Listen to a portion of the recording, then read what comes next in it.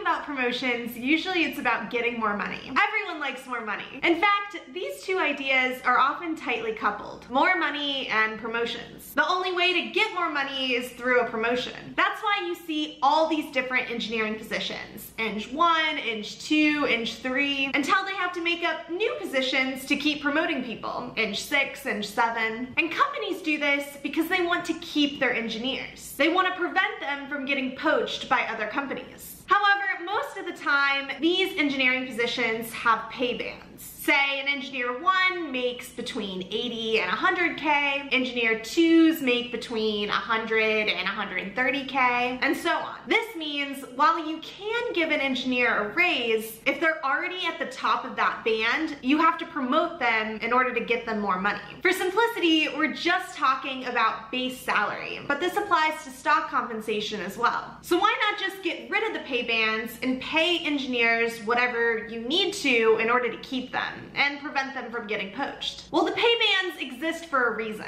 You don't want one engineer making 80K and another engineer of that same title, that same level position, making 150K. With this, someone can argue the case for inequality. This actually used to be the case at a lot of companies where there were just three levels, entry level, mid-level, and senior level engineer.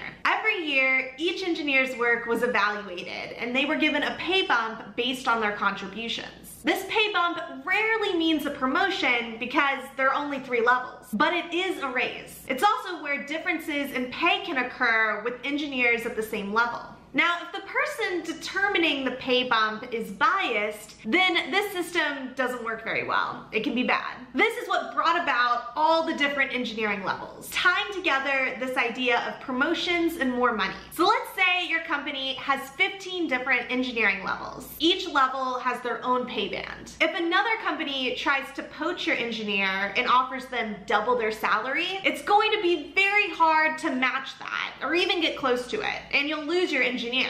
Another theory is to just ask someone what they want to be paid when they join, then pay them that amount. When they ask for a raise, really consider it, and then decide whether it's worth giving the employee the raise in order to keep them. Whatever thought or theory is chosen around promotions, it's a tough problem. How do you keep your engineers and pay them the right amount? And what is that right amount? Now you could say that some people want to get promoted for the title or the status or the influence. It doesn't have to do with money. However, most of the time, you can get the status and influence without being promoted. The reality of it is, if you want more money, the answer probably isn't a promotion. All right, that's it for this video. Thank you so much for watching, and I'll see you next time. Happy coding.